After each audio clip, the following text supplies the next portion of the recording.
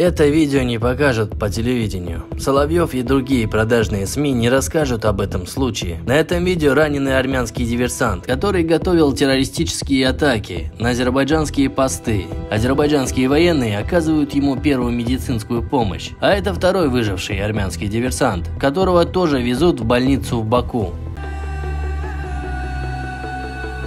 Ты можешь матом не разговаривать, разговаривай культурно. Весь его взвод мы уничтожили, остался вот он один. Не знаем, выживет, не выживет, ранение у него.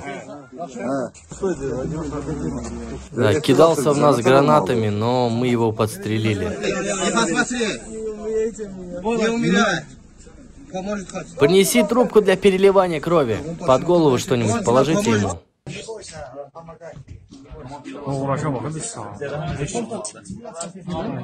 На его печени срочная операция должна быть, больше никак. Медбрат, вкали ему обезболивающее. Да я уже вколол. Ну еще один вкали тогда. Накрой рану чем-нибудь, чтобы микробы не попали.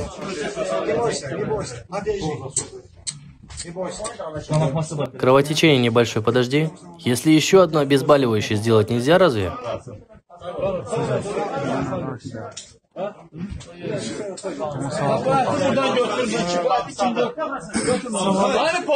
Повара позовите, дайте ему что-нибудь покушать хоть.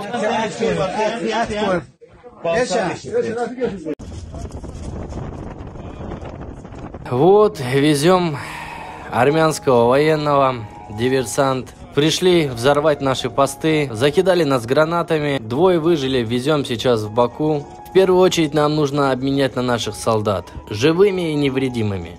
Я уверен, что кроме нашего YouTube канала ни в каком русскоязычном сегменте это видео не покажут. Я хочу попросить азербайджанцев, чтобы они скачали это видео к себе на сайты в инстаграме и отметили Соловьева и всех этих людей, которые постоянно осуждают и ведут агрессию против Азербайджана. Нужно показать, как азербайджанские военные помогают своим врагам чисто по-человечески. А то любят в армянских СМИ показывать фейковые новости, показывать азербайджанцев какими-то животными и непонятными существами. Я полностью солидарен вот с этими солдатами, которые вот спасли этих армянских диверсантов. Война войной, но все равно, когда лицом к лицу приходишь с человеком, ты понимаешь, что он все-таки человек, и у него есть мама, папа, родные, и его отправили на эту войну вот эти люди. Кстати, случилось это совершенно недавно, буквально вчера. А это значит, что 10 ноября был подписан договор трехсторонний о прекращении войны, но почему-то армянские военные, армянское правительство не успокаивается отправляет диверсантов э, взрывать посты азербайджанские, должны понять, что все, Армения проиграла. Зачем после драки махать своими руками? Отправляете вот этих молодых ребят на смерть. Вы что думаете, там азербайджанские военные цыплята, что ли, воевать не умеют? В азербайджанской армии еще те львы, еще те волки, которые за 5 секунд могут уничтожить врага. Жалко, конечно, парни молодые. Их повезут сейчас в Баку, их там вылечат, сделают операции, а после чего поменяют на своих пленных. Обязательно подписывайтесь на мой инстаграм и на мой телеграм-канал.